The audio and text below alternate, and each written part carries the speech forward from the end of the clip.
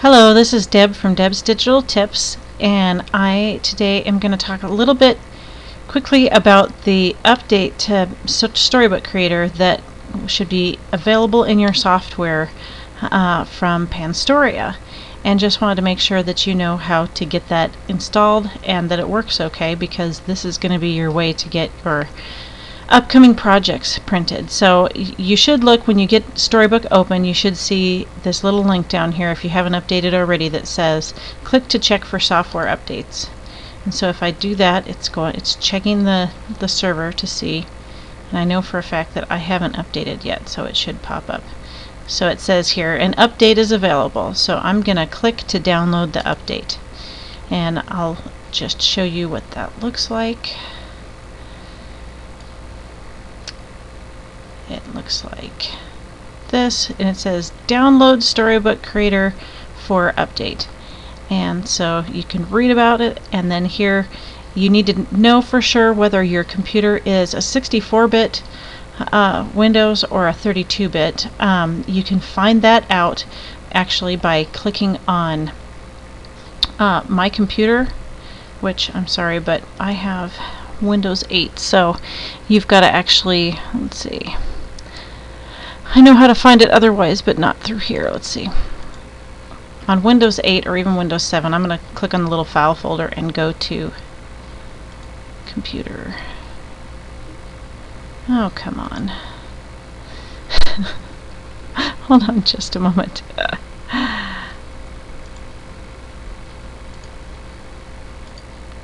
okay, so I found my computer now. I'm sorry, Windows 8 just updated and I hadn't learned it yet, but if you go to your C drive, wherever you find that, and go ahead and right click on it and do properties. you can usually, oh my goodness. Boy, I'm messing this up big time. Hold on just a minute more. Okay, sorry about that. So instead of doing it that way, I'm going to go ahead and grab my control panel and that will probably be a lot easier for you to find than for me. Um, hopefully you're not running Windows 8 yet. Uh, but then when you're in your control panel, click on Systems and Settings and go to System. And then right here it's telling you about what you're running. So I'm running a 64-bit, I knew that, but for most people, if your computer has 4 gigabytes of RAM or less, there's a good chance you're running a 32-bit. If it's a newer computer and you've got more than that, you're probably running 64.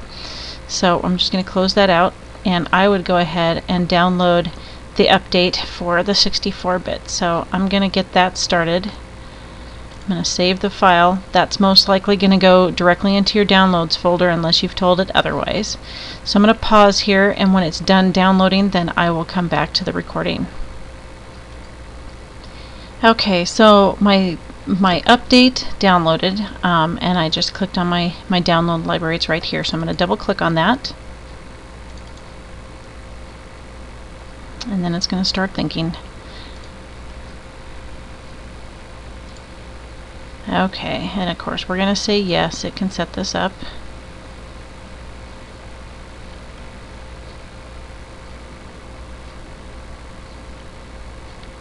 And we're going to go through, just let it run through its normal setup process, um, and then I'll see you at the other end. Okay, so now I've got my install shield wizard here and it's asking me to click next. So you need to read your end user license agreement. Um, I've been in the legal industry too long to, to tell you not to do that, so um, I do skim it kind of, but we're going to go ahead today and click the accept the terms and click next and go ahead and let it install.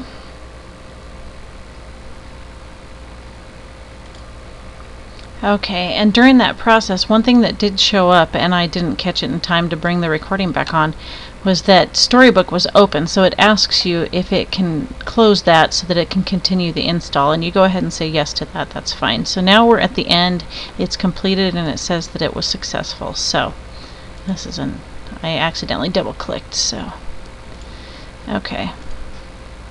So now, if we go back here, this is where my storybook, yes. Okay, so Storybook Creator has a new icon on my desktop. And as always, it takes a few seconds to open up.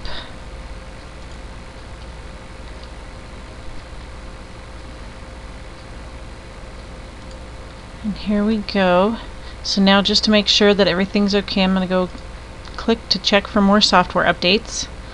And it's up to date. So now I should be able to talk to the um, Panstoria print shop. So here's the deal. I'm going to go to create a project.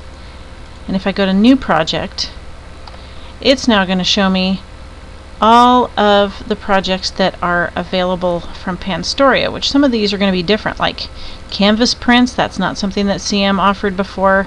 Um, ornaments you can make.